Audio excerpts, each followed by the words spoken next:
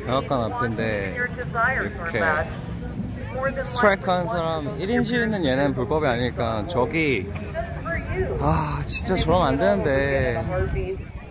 그 동양인 남 여자분인데 미군 철수하라고. 이런 비현실적인 아니 저런 스텝도 필요해요. 근데 일반 대중 정치인이나 이런 사람들은 저런 저런 걸 말하면 안 되죠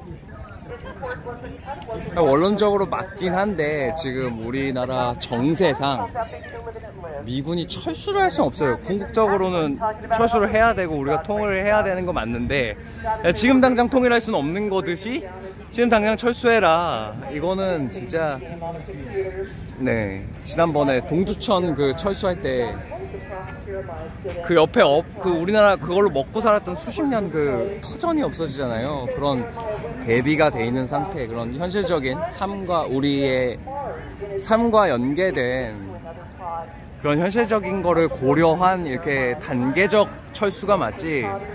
그럼 당장 뭐 미군 나가 이, 이런 거는 아 젊은 친구니까 모를 수 있지 뭐 인간 삶을. 한 개인 개인이 진짜 나약하잖아요 우리는.